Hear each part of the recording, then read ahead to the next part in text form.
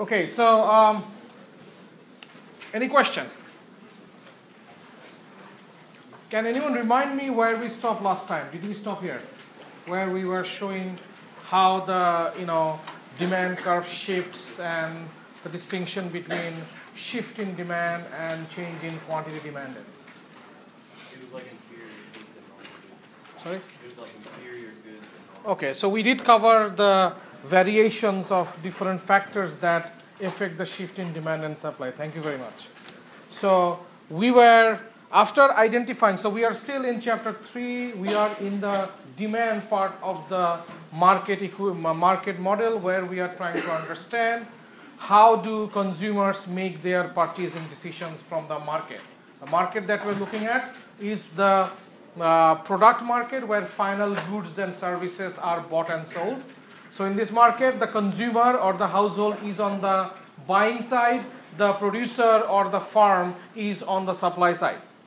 We defined something called demand curve in the previous class, which shows the negative relationship between price and quantity demanded, which means how much uh, a person is willing to buy at some given price.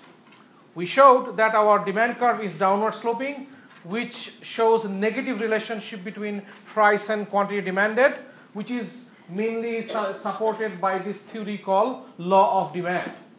And in the last class, we also looked at the, the two competing theory, not competing, complementary theories that explains why law of demand exists.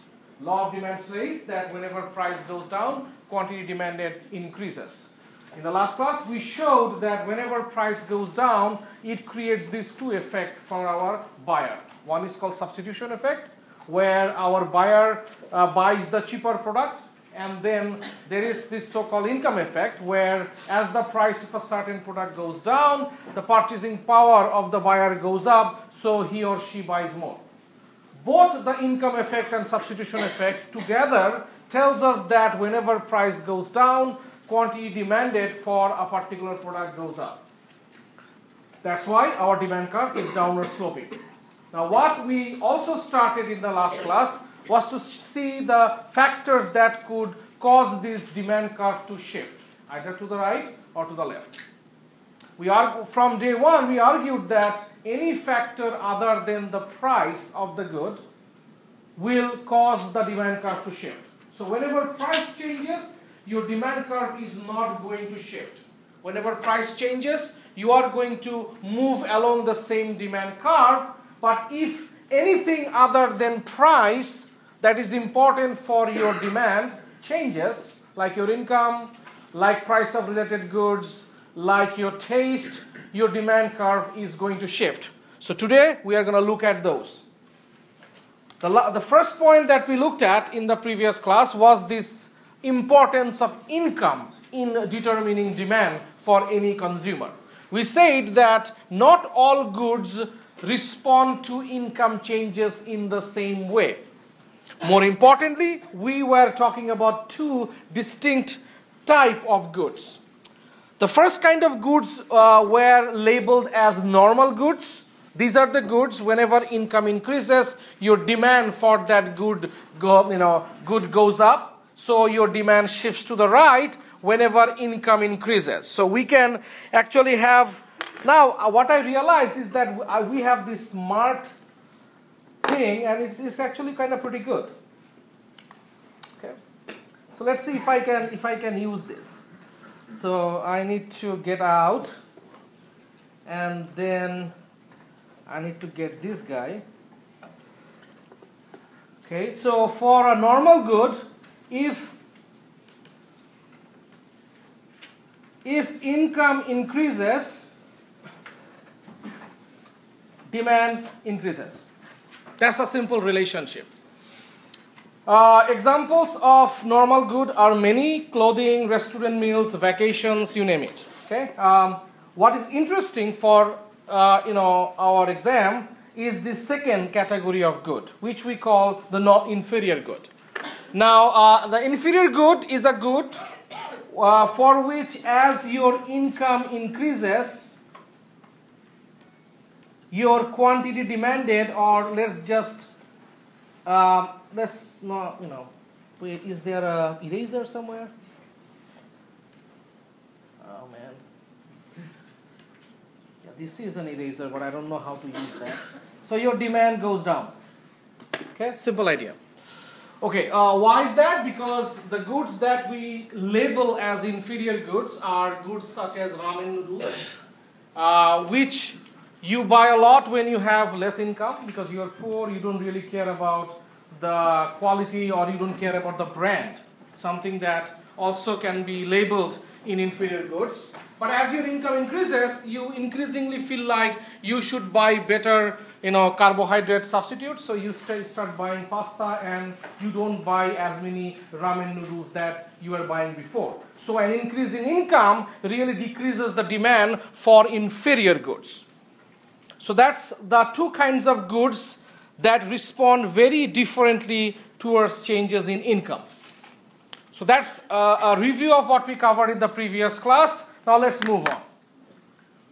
So we, are, we saw that uh, depending on what kind of goods you have, either inferior versus normal, a change in your income affects your demand in a fundamentally different way. What we're going to do now is think about other factors that affect your demand. And uh, one of them uh, is this idea of related goods. So let's start with the discussion that most of the goods that we buy from the market sometimes are you know, purchased together or they are purchased as a, a substitute for each other. What do we mean by that? Imagine you are going to a marketplace and you're buying coffee, right? Coffee is something that you like to drink, and for most of us, with some exceptions, we would like to uh, you, know, uh, you know, eat sugar with coffee. So coffee and sugar, these are goods that we always buy together. Okay? The economist who came up with this idea was a Russian economist. His name is Leontiev and got a Nobel Prize. Because he, he was the first person to point out that in our everyday life, a lot of economic activities are performed together. For Leontiev, uh, he was talking about these uh, goods that are uh, either purchased together or these goods that are being used together.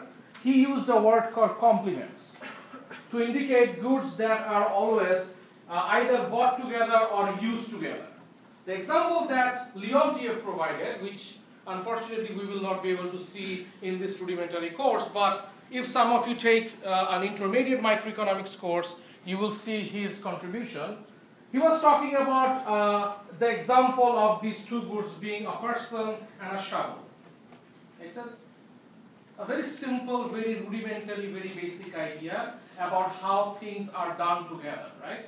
A person cannot uh, work without a shovel, a shovel cannot work by itself. So they need each other. So that's the example of a complementary good. In our marketplace, complementary, complementary goods could be many, like coffee and sugar, but the, but the one that you are looking at is, the, the first one that you are looking at is substitutes. I'm going to ignore the substitute for the time being. I'm going to start with complements, because I think complementary goods, uh, you know, makes a, li a little bit more sense. So, Big Mac and McDonald's fries, my children love them hot dogs and hot dog buns. I don't know how much you like hot dogs. I used to, but i am not. I'm, I'm trying not to eat those. Left shoes and right shoes, right? Left shoes and right shoes. That's a very interesting, uh, you know, example, right? A couple of years ago, I saw a movie that a guy uh, came up with this very smart scheme of importing shoes from a foreign country where he was only importing right shoes. So imagine that you want to import a pair of shoes from a foreign country and you have to pay tax, right? So what he did, he came up with this idea that he first imported a bunch of left shoes. So when you, you know, buy half of a pair, these are called imperfect goods and government doesn't tax you because these are damaged goods. Do you understand that? So you are importing a damaged product for which you don't pay any tax. After six months, he imports the right shoes. So that was a scam. It was a, it was a very, very interesting movie. Uh, because you know, the idea is that right shoes and left shoes are always bought together, regardless of uh, their price. Um, in case of a McDonald's, uh, you know, uh, burger and McDonald's fries, we understand that these two things are purchased together. So the question that we want to ask now is what happens when price of one of these complementary goods change? Okay. So imagine that in case of the complementary goods you are thinking that the price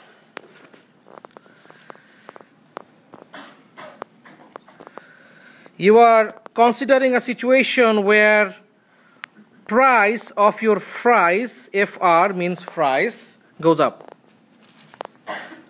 And you want to understand how an increase in the price of fries affect your demand for burger mcdonald's uh, the big mac. Okay? So i am going to write quantity demanded for my big mac here and I want to fill in the blanks. Are we all clear on that? So, so if the price of fries go up, I know that my quantity demanded for my fries go down according to my law of demand, right? There's nothing magic about this. So when the price of fries go up, I buy less fries but if I buy less fries, I also buy less burgers. That doesn't make sense. Because I buy them together. So notice that our experiment started with the assumption that the price of fries have gone up and it ends up affecting my demand for burgers which are complementary goods. So, Graphically, when the price of fries go up, demand for burgers shift to the left. And obviously vice versa. If the price of fries went down, quantity demanded for fries would have gone up, meaning that you are now going to buy more fries. And if you buy more fries, your quantity demanded for burgers are going to go up. So this is how the price of a related good, a complementary good, affects the demand for a product. In this case, the price of the complementary good went, down, went up and the demand for the product in question went down. Demand for the product in question went down. Any question? Make sense? The opposite of the story is the, the substitute one. Um, so when I talk about substitute goods, I don't really talk about burgers and you know stuff. Uh, the, the best example of a substitute good is probably Coke and Pepsi. Right? A lot of us, including me, will argue that probably a Big Mac is not same as a Whopper. Right? Have you uh, eaten uh, any Whopper you know, in recent times? They have dramatically improved the quality of that, that particular burger. So, but for a, for a, it's true by the way. They should give me money. They should. I am actually providing them free marketing. Okay. Um, so I don't know about jeans and khakis any also, but I know that Coke and Pepsi are probably good substitutes. Although I have met people who have a very strong brand loyalty, loyalty towards one of these products. So let's ignore brand loyalty for the time being. We, so we are, are we all clear on what brand loyalty is? Brand loyalty is when you buy something uh, without really thinking about what the good is giving you, uh, or you don't even care about the price. So brand loyalty is an irrational economic behavior, which we are going to ignore, ignore. Although very interesting economic behavior, but we are going to ignore that. So with that, ignoring brand loyalty, Coke and Pepsi probably are substitute. They are probably very good substitutes, right? So now again the same idea. Imagine that the price of Pepsi goes up. PP means price of Pepsi goes up.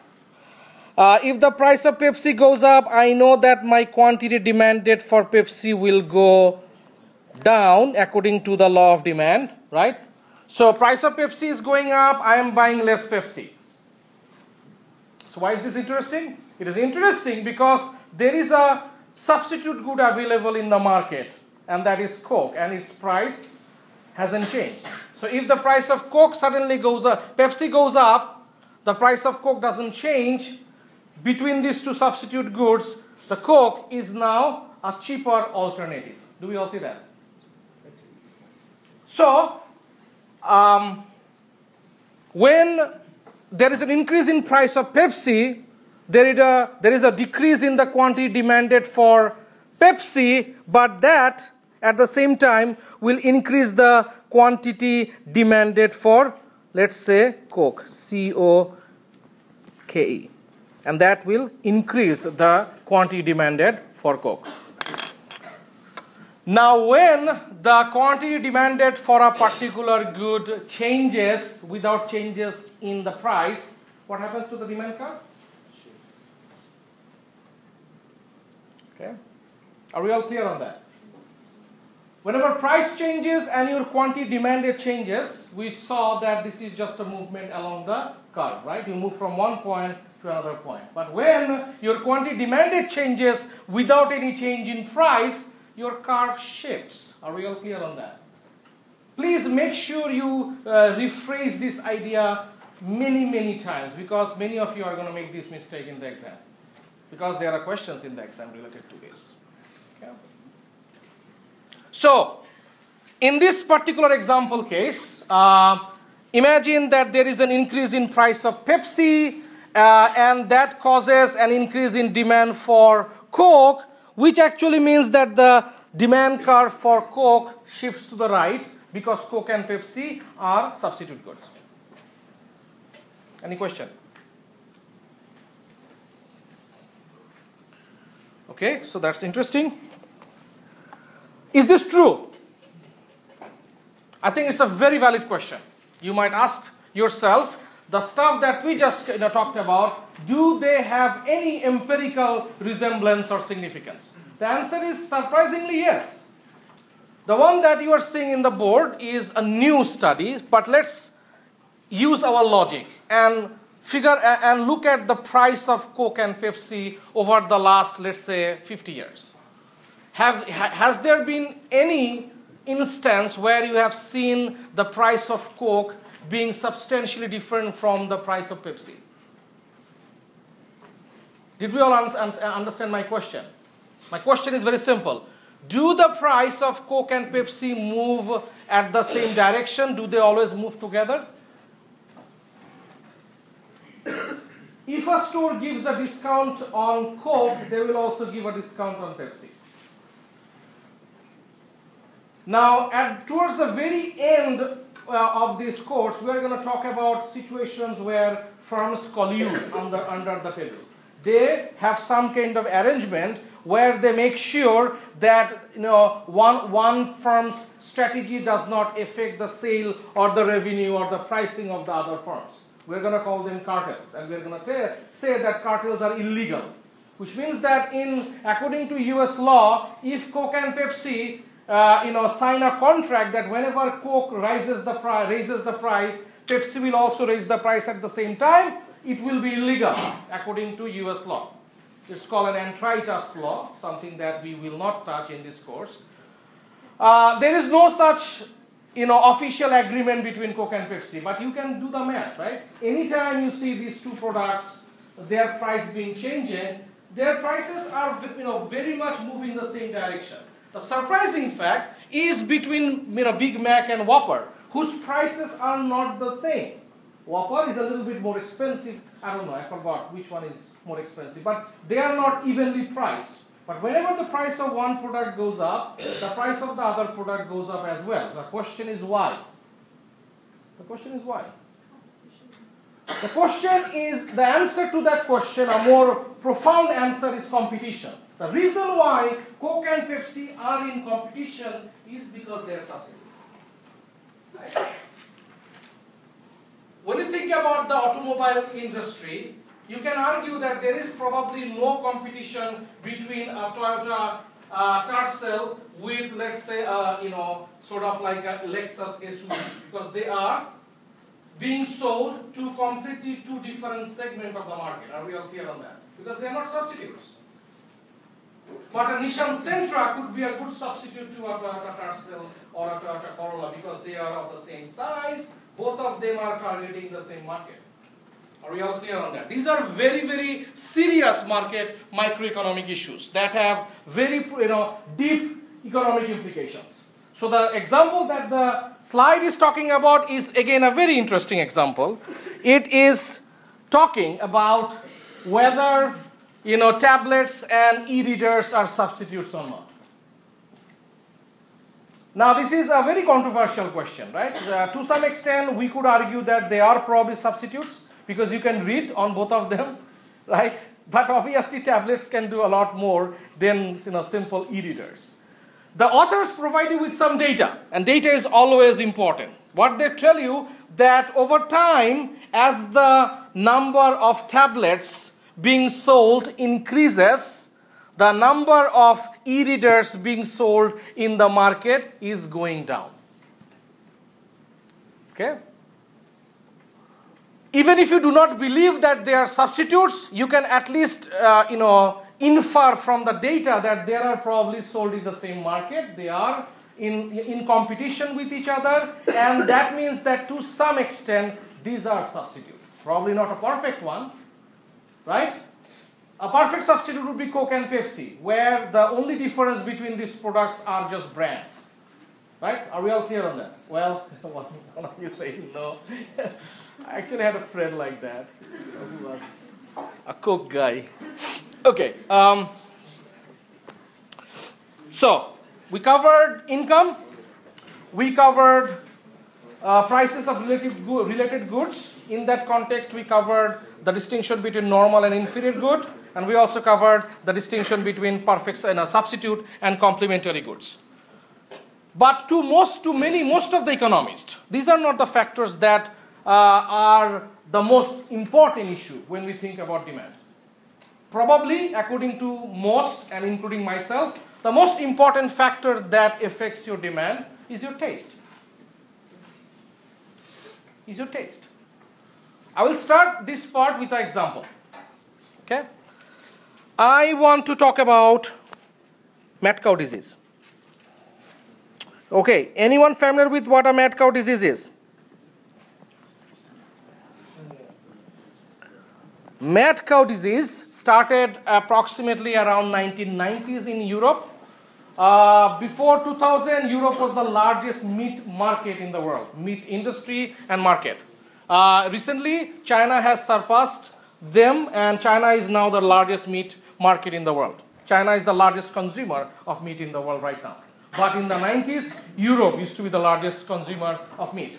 So around 1992, this mad cow disease came about where if you eat certain portion of a, bee, uh, of a cow, uh, you contract some kind of disease, it's a neurological disease and you die. Okay? Simple idea. My brother-in-law uh, used to live in England at that time. He still lives there. In 1994, the price of one pound of beef was about 10 bucks, $10. Meat is very expensive in Europe.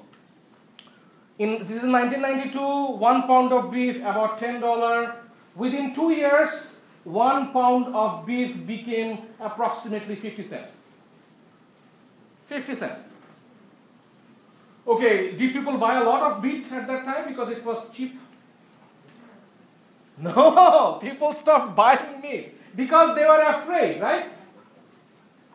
So you might think that, well, beef, the price of beef have gone down from being $10 per pound to 50 cent, people will buy a lot of meat, right? Because of the law of demand or whatever we have learned, right? The answer is surprising. Nobody bought beef at that time. It took about 10 years for the beef industry in Europe to recover. And then you had another major scandal, you know, a couple of years ago. As it turned out that, you are familiar with that. The horse one? Yeah. So as it, as it turned out, Ukraine is one of the largest suppliers of meat in Europe, and they were mixing different kind of meat, right? So be careful when you go to Europe, and you know be careful about the meat. So what happened was that the demand for meat went down dramatically, and it has got nothing to do with price. In this case, the price actually went down, even then people were buying less meat. Why? Because their taste changed. Their taste changed. Taste is a very powerful idea, right? When I first came to USA around 2001, there used to be one Dunkin' Donuts in every, you know, neighborhood, right? Dunkin' Donuts were very popular. Between 2001 and 2004, Dunkin' Donuts filed for bankruptcy. Does anyone know that? They, they have recovered. The Dunkin' Donuts is again in business, but in 2004, a giant industry uh, you know, leader like Dunkin' Donuts filed for bankruptcy. Why? They were not selling enough. Why? Because people were not, people were not buying enough. There was no scandal. People just became more health conscious and they stopped buying donuts. So you see that, you know, out of all the factors that really affect demand, taste probably is the most important one. Okay? Any question? Are we all clear on how taste affects your demand? So anytime the taste for a certain product increases, you are going to buy more of that good regardless of the price. Any anytime the taste for that good goes down, like you become afraid or you become more health conscious, your demand is going to shift to the left. Makes sense? The next one is also interesting. Okay, uh, population and demographics, I think they are interesting, but they are uh, kind of predictable, right? If the population of a country increases, meaning that there are more people to buy the same good, demand is going to go up, right? And the idea of population is kind of connected with the idea of a demographical change. For example, if an economy has more elderly population because more people are surviving their old age, demand for Medicare and medical services are going to go up automatically. There is no relationship with price. As you go older, you grow older, you have to have medical services. So population size and demography can affect the demand for a certain product as well. Whenever there is an increase in population or an increase in demography, demand shifts to the right.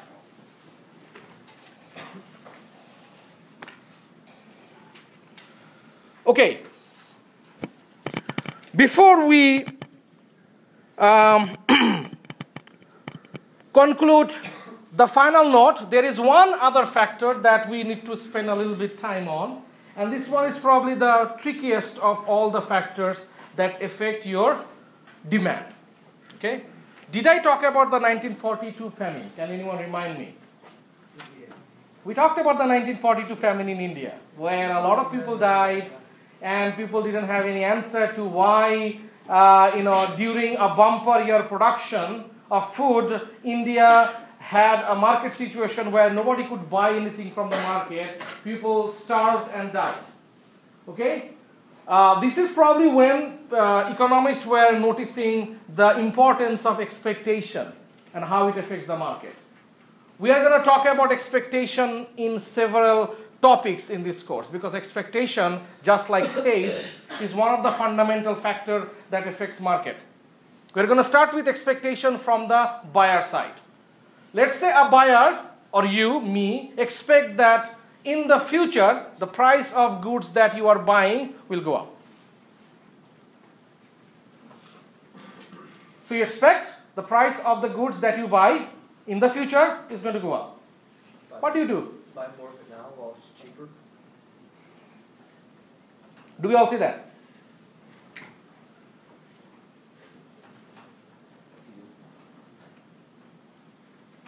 So when can you do that? When can you, buy, you know, buy more of the goods whose price you expect to go up in the future? Can you buy all of these goods? Can you buy milk and store it for five years? And when five years comes, the price of the good goes up, and you, you know, take that milk out of your refrigerator? You simply cannot. right? There is a there is a deeper uh, implication for how expectation affects your demand. Are we all clear on this? So let's try to you know explore this idea. Okay. Um, the terms that are being used in the slides are kind of confusing. I will try to explain how expectation about future affects your demand from a slightly different and macro perspective. and in that process, I want to bring a very powerful economics concept. It's called saving. Saving. Saving. So, I'm going to start with this idea first. I'm going to think about a good which is perishable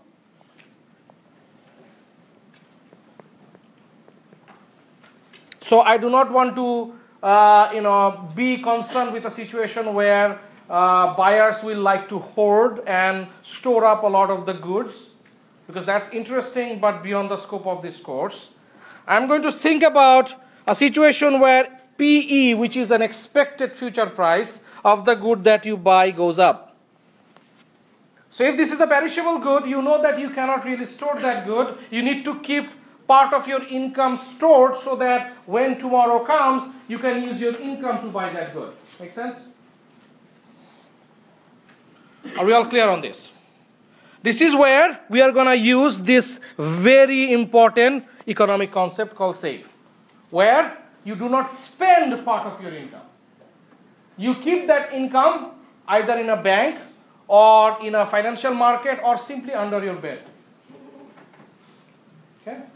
So when you expect that future price is going up, your savings increase. Okay? You save more, but you understand that if you save more today, that means you consume less today, right? You buy less today.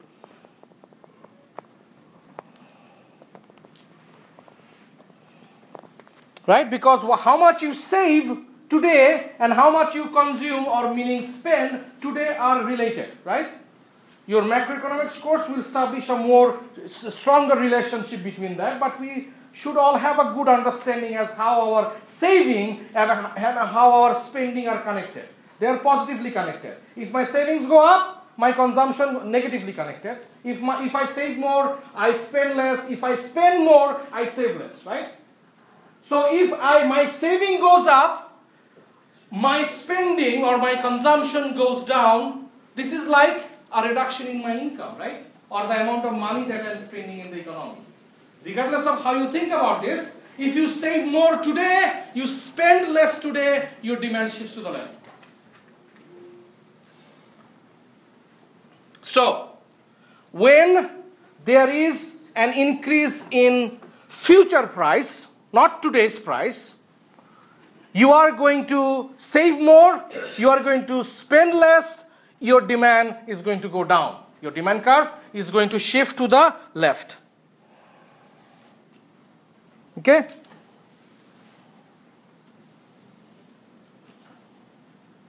That's one way to think about it. But what if the good is perishable, is not perishable? What if I could store that good? Make sense? The example that was just talked about, you know, just, just discussed, right? So if the good is perishable, the price, if the future price of my good increases, I am going to save more, I am going to consume less, my demand is going to go down today for the same good. If, on the other hand, the good is, is not perishable, I can store that good, it makes perfect sense to buy more of the good today when it is cheaper, right? So the distinction here is whether the good is a perishable good or not. If the good is perishable, then an increase in future price reduces your demand today. Let's conclude that by saying that your quantity demanded goes down in case of a perishable good. When the good is non-perishable,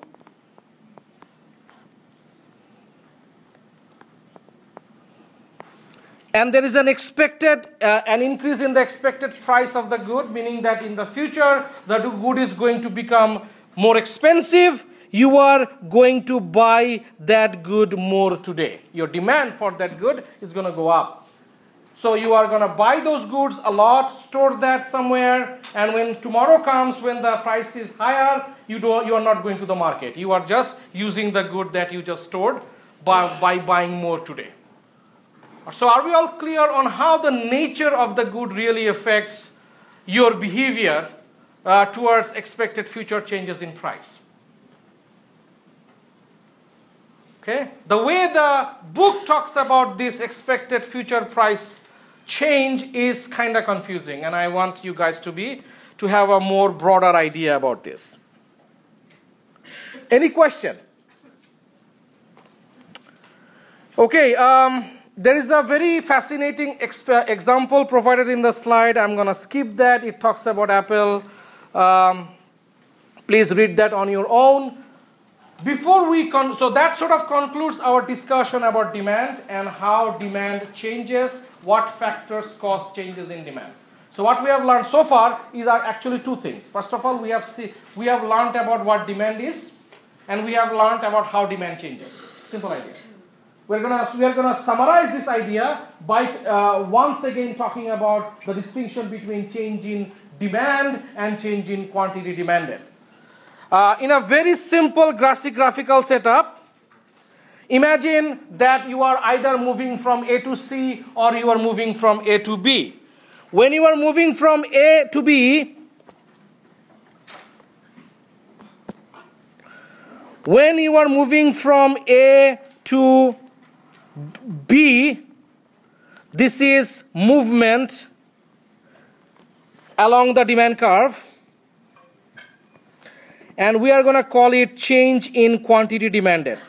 The delta that you are seeing is a shorthand for change. So when you move from A to B, this is a movement along the same demand curve. The reason why you move from A to B is because only price changed, nothing else changed. So you move from one point of the demand curve to another point of the demand curve. This is called a movement along the demand curve or just simple change in quantity demanded. When you move from A to C, you are moving from one demand curve to another demand curve. So a movement from A to C, I'm going to just abuse the slide. When we move from A to C, this is just going from one demand curve to another demand curve. Notice that when you move from A to C, prices did not change. The price was still $300. And even with that $300, under the new demand curve, you, were, you wanted to buy 10. Under the old demand curve, you wanted to buy 8. So there is a change in your demand for that good. We will call it a shift in demand and we will call it a change in demand. They mean the same thing. So when you move from A to C, we are going to call that change in demand.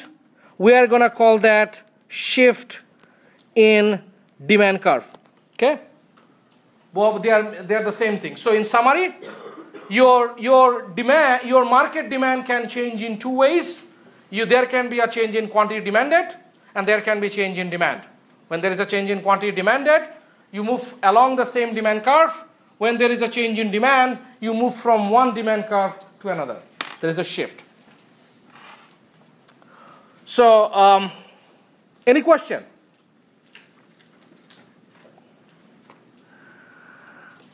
Okay, um, some, uh, some examples. So let's spend a little bit of time looking at some uh, multiple choice questions. Uh, these are supposed to sort of you know strengthen our understanding. So let's look at the first question. This is a very rudimentary yet a very interesting question. Simple but interesting question.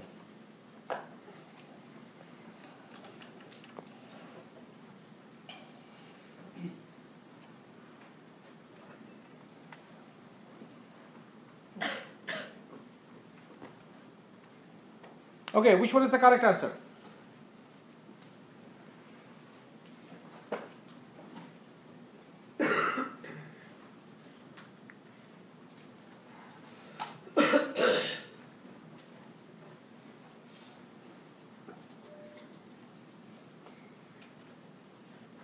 Anyone?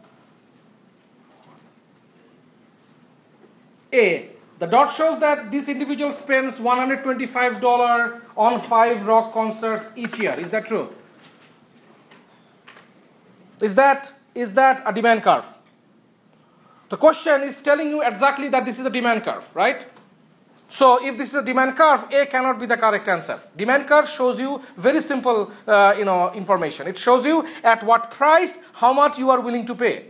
How, mu- how much, how, what quantity you are willing to buy. I apologize. Let's go back. Your demand curve tells you at some given price, how much of the good you are willing or able to buy. So if this is the point of the demand curve, the answer is that the price of the good is 125 and at that price the quantity that you are buying is 5. Do we all see that? Do we see an answer that supports this statement that I just made? Anyone? So answer is B, right? It is clearly B. Because B is telling us that when the rock concert cost about I should I should be able to do this and I cannot. Okay, now it's That's why this technology just became obsolete, right?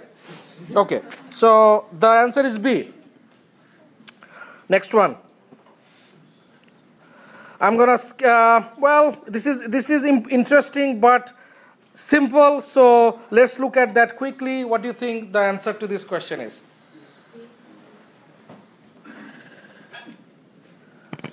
Somebody said B. Which of the following refers to consumers buying other goods when the price of the good in question rises? Very good. It is talking about substitution effect. Substitution effect says that whenever the price of a good increases, this is the market where everything is homogeneous. You always buy the good that are cheaper, right? So the correct answer is B. Next one. Uh, the next question.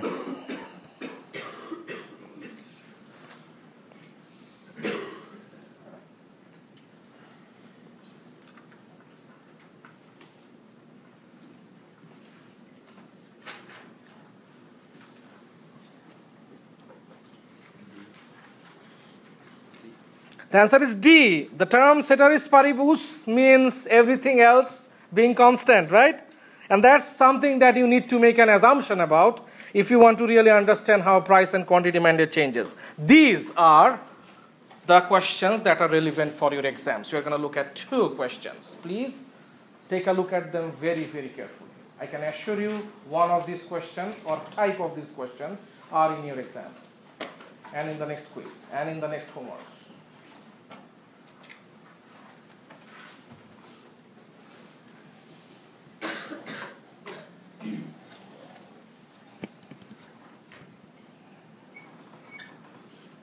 So, what's the answer? So, there is an increase in income, and when the income increases and the good in question is a normal good, what happens to the demand for that good? The demand increases, right? It's not an inferior good. If it is a normal good, so the key point here is the good being normal. If the good in question is normal and your income increases, your demand shifts to the right. Right? So the answer is I apologize. It's the answer on the left. Oh man, sorry. Let me delete that. The answer is A, right? Okay, the next one.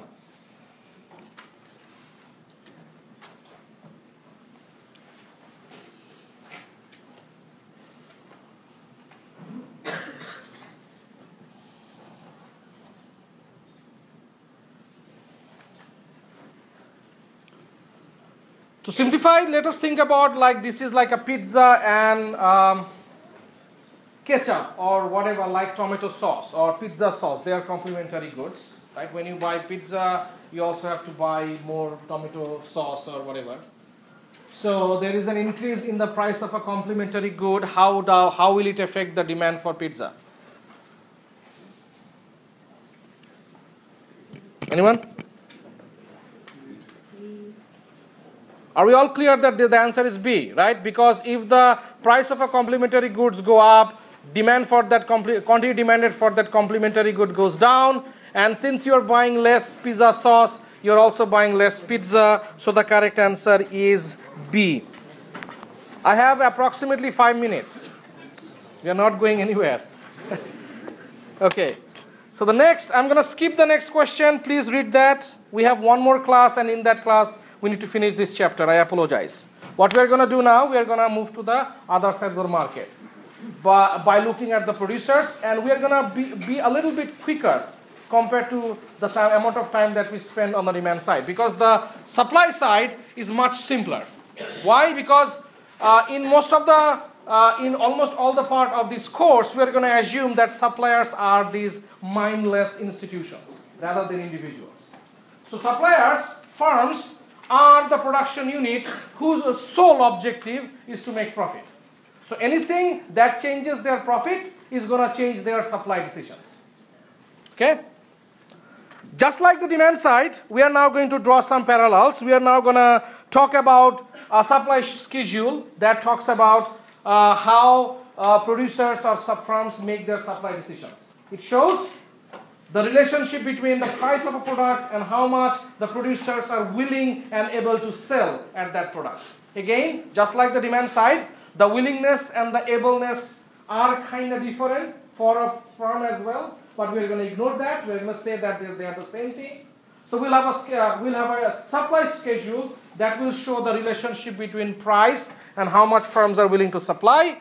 Uh, supply schedule is like a table that shows the relationship between uh, the price and how much they want to sell. The relationship is fairly standard, fairly simple, right? You can see that as the price of the product goes down, as the price of the product goes down, the amount of profit that firms can make goes down. Are we all clear on that? If the price that you can get by selling your product goes down, you are making less and less profit. Right? When you make less and less profit, you are willing to sell also less and less. For a producer, the relationship between price and how much they want to sell is positively related. As the price goes up, they supply more. As the price go down, they supply less. So the relationship between price and supply for, for the firm is very, very straightforward. When you take these points, when you plug it into a two-dimensional graph, just like we did for the demand curve, we will see that our supply curve is an upward sloping curve, which, which tells us that the relationship between price and quantity supplied, which means how much firms want to supply, is, is positively related. This positive relationship is indicated by a theory called law of supply, which tells us that whenever price goes up, quantity supplied goes up. Very simple idea. There is nothing fancy about this relationship. For your demand, law of demand was quite complicated, right? There was this substitution effect, income effect, a lot of discussions about that. Our supply curve and our law of supply is much simpler than the demand side. Okay, just like the demand curve, we can think about shift of the supply curve. Anytime the supply curve shifts to the left, uh, shift to the left, uh, right, we are going to call an increase in supply or a rightward shift of the supply curve. Anytime our supply curve shifts to the left, we are going to call it a decrease in supply or a shift in leftward shift of the supply curve. Notice that whenever supply curve shifts, there does not have to be any change in price. With the same price, your supply curve could shift to the left or to the right, just like it did for the demand curve. Okay, uh, also the distinction between uh, you know, quantity supplied and supply is critical. Imagine that the original price was P1 and when the price was P1 under different supply curves, the amount that you are supplying is different. Do we all see that? Anytime supply curve shifts either to the right or to the left without any change in price, these are changes in supply. So the supply curve shifted, causing a change in supply. In the next class, we're going to cover two things. We're going to first look at factors that shift this supply curve, and then we're going to bring the market demand and supply together, and we're going to talk about something called equilibrium. Thank you very much. question. I wanted to do the homework to ask for a course ID. Uh, it, it, it, should, it, it should not